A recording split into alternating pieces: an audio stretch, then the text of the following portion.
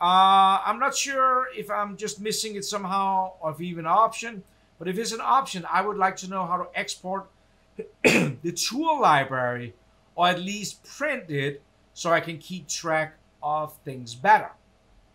That's a good question. Uh, inside of CAM, if we, uh, let's open up a new file. Let's go to manufacture. Um, you have the, the tool uh, libraries. Let's go into one here, for example, uh, that I've created.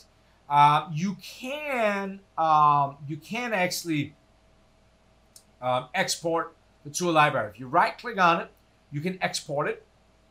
But if you're exporting it, it's becoming a dot .tool library. So for Fusion, what is good if you need to bring it to another computer or something. If you want to print it, uh, like you said, uh, to keep better track of things, um, the only thing you can really do, let me actually go and take something else, like let me take the metric library. The only thing that I'm aware of you can do right now is you can click on the top, shift, click on the bottom, get them all, do a control C, and then open up Excel. So an Excel spreadsheet. Here we go.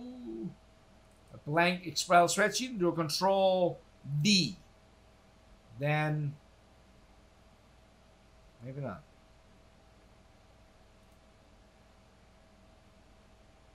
Oh, hang on.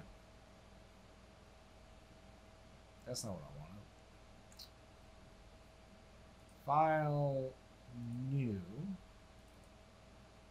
Okay, let's try this again.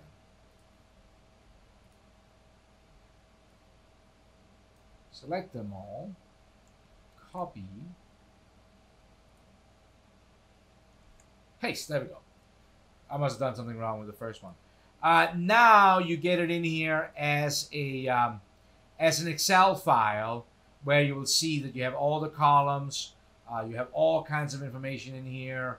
Um, you know what all the breakdowns are, dimensions, and and things like that. So that's that's one way to uh, to get it in there. You even have like tool holders and, and things like that. That's the only way that I am aware of. We can we can bring it in.